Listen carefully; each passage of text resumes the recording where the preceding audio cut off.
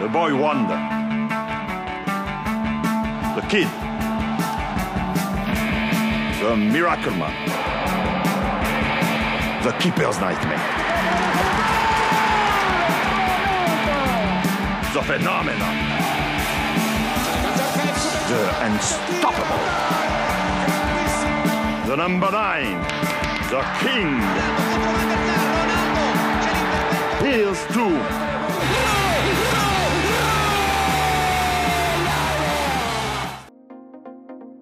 Before Messi and Cristiano, there was a superstar so special that people called him El Fenomeno. He was like nothing anyone had seen before, and his name was Ronaldo Nazario. Skillful, effortlessly elegant, he is your favorite player's favorite player. Even Jose Mourinho, who is Portuguese and coach Cristiano, says he would pick the Brazilian Ronaldo. Best player you've ever seen. Yeah, That good. That good. Wow. So, how did Ronaldo Nazario achieve football immortality at such a young age? Ronaldo burst onto the football scene at Cruzeiro, making his professional debut at just 16. In just two seasons at Cruzeiro, Ronaldo scored an outstanding 44 goals in 47 games, an incredible output that earned him a spot in Brazil's 1994 World Cup squad at just 17 years old. Despite not playing a single minute in the, the tournament, he returned from the US as a world champion. While Ronaldo had already made a name for himself in Brazil, he also had his fair share of admirers from overseas, and following the advice of his Brazilian teammate and legend, Romario, Ronaldo moved to PSV, a move Romario himself had made when he first ventured into Europe. And you'd think that moving to a completely new league at just 17, Ronaldo would struggle, or at least he would need some time to adapt. But that wasn't the case at all. In fact, this is what sets Ronaldo apart from many modern legends of the game. His prime years began when he was just a teenager. He scored a goal on his debut, a brace in his second game, and hat trick in his third. Leverkusen's Rudi Völler, seeing Ronaldo's hat trick, said after the game, Never in my life have I seen an 18 year old play this way. And for those who suspected his early game output was a fluke, Ronaldo silenced the doubters by scoring a whopping 35 goals in 36 appearances for PSV that season. Mind you, he was just a teenager in his first season in Europe. These are the kinds of numbers you expect from a seasoned veteran. But the greatness of Ronaldo extended beyond his goals. He was a complete footballer. He possessed qualities rarely seen in a single player blazing speed, physical strength, incredible agility, insane dribbling skills that terrorized defenders, and a deadly strike that left goalkeepers with little to no chance. The whole world was in awe of the teenage sensation, and some of the biggest clubs around Europe were already plotting to snatch him away from PSV. However, Ronaldo ended up staying for another season. This was also the first time Ronaldo's struggle with injuries began, which sidelined them for more than half of the season.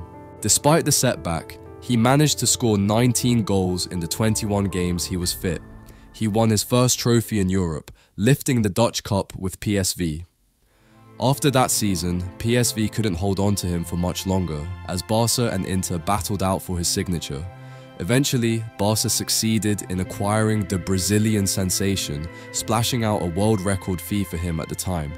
And just like at PSV, Ronaldo started his chapter at Barcelona with a bang, scoring two goals on his debut. He continued to dazzle everyone, putting on a show week in and week out. His playing style was so flamboyant that the whole of Spain fell in love with him, and no goal encapsulated Ronaldo's utter brilliance more than his solo goal at Compostela, where he dribbled past five players to slot the ball into the back of the net. In everyone's eyes, there was no question who the best player in the world was. It was the dazzling 20 year old Brazilian. His 1997 FIFA Player of the Year award further reinforced this notion, making him the youngest winner of the award.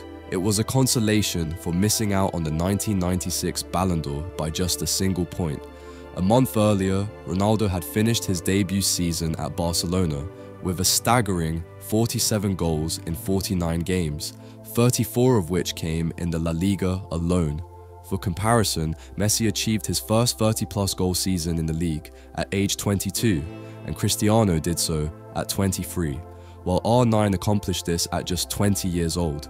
Most would argue that Ronaldo's debut season at Barcelona was him at the peak of his powers, before any of the injuries that would later change the course of his career. After his incredible debut season, where he also won three trophies, Barca moved quickly to offer him a new and improved contract to secure his future at the club. However, talks broke down and Ronaldo controversially made the switch to Inter after Moratti activated his release clause, making him the world's most expensive player for the second time, something only achieved by Maradona. While he didn't score on his debut like he did at Barcelona and PSV, Ronaldo's prolific form continued in the Serie A, he scored 34 goals for Inter that season, including a magnificent goal in a victory over Lazio in the UEFA Cup final. Ronaldo was awarded the Ballon d'Or midway through the season, becoming the youngest winner in history. After securing a major trophy with Inter, now Ronaldo flew to France with the hopes of securing another, this time the World Cup. Every Brazilian looked at him to carry the team to the final, and that was exactly what he did. Ronaldo scored four goals en route to the 1998 World Cup final, where the host nation France, being led by Zidane, awaited. The French team trained specifically on how to stop Ronaldo, though many of them knew it was almost impossible to contain him once he unleashes those dazzling stepovers.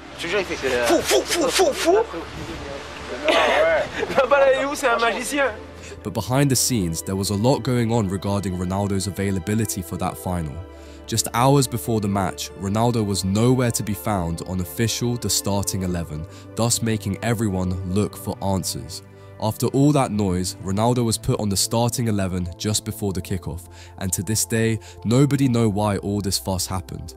After much discussion, Ronaldo did play in the final, but it was France who claimed the victory with a brace from Zidane and a goal from Petit.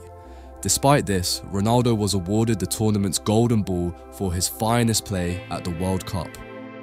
By the following season, Ronaldo faced some issues with his knee, but still managed to make 19 appearances in the Serie A, scoring 14 goals.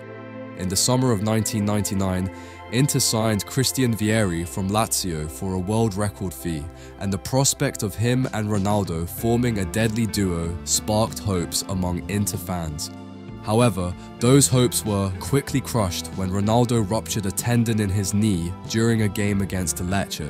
It was a very serious injury that led him to miss almost six months. In April of 2000, Ronaldo returned to the squad that faced Lazio in the Coppa Italia final. He was subbed in during the second half to a warm applause from the whole stadium. Just six minutes into the game, Ronaldo attempted his famous stepovers, but without any contact he fell onto the grass and screamed in agony. If the injury six months ago was scary, this one was horrific. His physio Nilton Petrone stated, his kneecap actually exploded. It's the worst football injury I have ever seen. It was later determined that the injury was far worse than initially assumed, and there were even doubts if he could ever play football again. Nilton Petrone later reflected on Ronaldo rehabilitation, saying, One day in the middle of the night, he called me and asked, Tell me I'm going to be able to play football again. Please don't lie to me. Ronaldo was sidelined for 523 days, but somehow he made his return in the 2001-2002 season. The injury had taken away the explosiveness that made him a terrifying force. Even after his return, he suffered another setback, this time with a hamstring injury that sidelined him for three months. The guy just couldn't catch a break. He only managed 10 Serie A appearances that season, yet he scored a remarkable 7 goals. Then came the 2002 World Cup, where Ronaldo proved he was a once-in-a-generation talent. Despite his horrific injury and doubt about whether he would ever play football again, Ronaldo showed a prolific form, rarely seen at a World Cup, scoring 8 goals in the tournament. Two of those goals came in the final against Germany, securing a 2-0 victory in Brazil's fifth World Cup title. He was on top of his game again, delivering what can be considered one of the greatest injury comebacks in football history, and his Ballon d'Or win that same year further cemented his status as a phenomenon. But Ronaldo, before and after the injury, were two different players. Before his injury, many would place him as the greatest of all time, alongside Pele and Maradona. He was truly a phenomenon. To this day, he still remains one of the biggest ifs for many football fans. This is why many of the great players looked up to him, and he would always have a special place in the hearts of those who watched him dazzle on the football field. Ronaldo's legacy transcends his injuries, cementing his place as an icon in the world of football.